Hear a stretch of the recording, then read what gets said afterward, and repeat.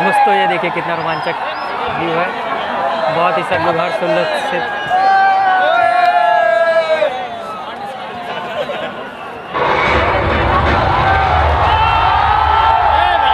ये कथा है मर्यादा ये कथा है साहस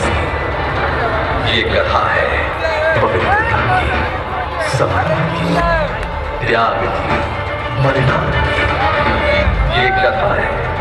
भक्ति की शक्ति ये कथा है अधर्म पर धर्म की विजय। की ये कथा है त्रेता युग के महान।